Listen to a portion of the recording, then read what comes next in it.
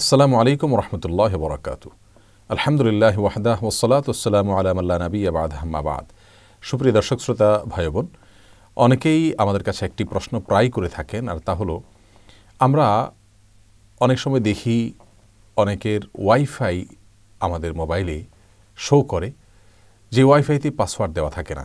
আমরা সেই সমস্ত ওয়াইফাই এর সাথে কানেক্টেড হয়ে আমরা ব্রাউজ করতে পারব কি না আমরা নেট ইউজ করতে পারব কি না এই প্রশ্নের উত্তরে বলব ওয়াইফাই যেগুলো উন্মুক্ত থাকে, সেগুলো যদি পাবলিক প্লেসে থাকে অথবা এমন কোনো ওয়াইফাই হয় যেগুলো আমরা জানি নিশ্চিতভাবে যে কোনো কোম্পানি অথবা সরকার অথবা কোনো প্রতিষ্ঠানের তরফ থেকে উন্মুক্ত করে দেওয়া হয়েছে সাধারণ মানুষের জন্য, তাহলে তো সেটা আমাদের জন্য ব্যবহার করা অবশ্যই জায়েজ হবে।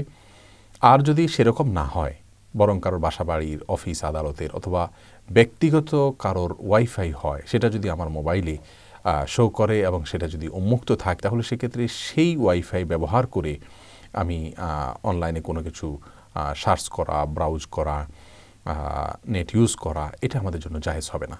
সই মুসলিম হাদিসে আরসে নবী সাল্লাহ সাল্লাম বলেছেন লাহিল্লু মালুমরি মুসলিমের ইল্লা বিতিবি নফসি কোনো মানুষের, কোনো মুসলিমের সম্পদকে আপনি তার সন্তুষ্টি ছাড়া ব্যবহার করতে বা ভোগ করতে আপনি পারবেন না। এটা আপনার জন্য জায়েজ নাই, হালাল নাই।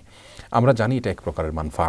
এই ওয়াইফাই যিনি ব্যবহার করছেন, যিনি এটার মালিক, তা তিনি কিন্তু এই ওয়াইফাইটাকে ইউজ করছেন। আপনি যদি তার ওয়াইফাইটাকে আপনিও ইউজ করেন, তাহলে সেক্ষেত্রে আপনার ওয়াইফাইয়ের মাধ্যমে আপনি যদি কানেক্টেড হন এবং অনলাইনে ঢুকেন, আপনি ব্রাউজ করেন নেট ইউজ করেন, তাহলে সেক্ষেত্রে দেখা যাবে যে তার স্পিড কিছুটা হলেও কমবে। আর স্পিড কমুক আর না কমুক, সেটা পরের কথা, কিন্তু এটা তার হক, এটা তার সম্পদ, এটা তার মানফা, আপনি তার সম্মতি ছাড়া এটাকে ব্যবহার করতে পারবেন না।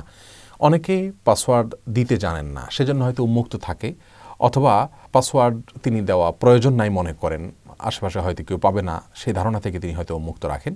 কেউ কারোর বাসার দরজা খোলা রাখলেই তার বাসায় ঢুকে আমি কোনো কিছু নিতে পারব। এটা যেরকম অযৌক্তিক, কারোর পাসওয়ার্ড উন্মুক্ত আছে, তাই আমি কানেক্টেড হয়েই সেটার সাথে আমি নেটে আমি ঢুকে পড়ব এবং আমি অনলাইনে ব্রাউজ করব, সেটাও কিন্তু একইভাবে অযৌক্তিক। এজন্য কাতার ভিত্তিক ইসলামিক ফতোয়ার ওয়েবসাইট ইসলাম ওয়েব সহ বিভিন্ন ফতোয়ার ওয়েবসাইটে সমকালীন যুগের বিজ্ঞ মুফতিগণ এটাকে হারাম বলেছেন, নাজায়েজ বলেছেন।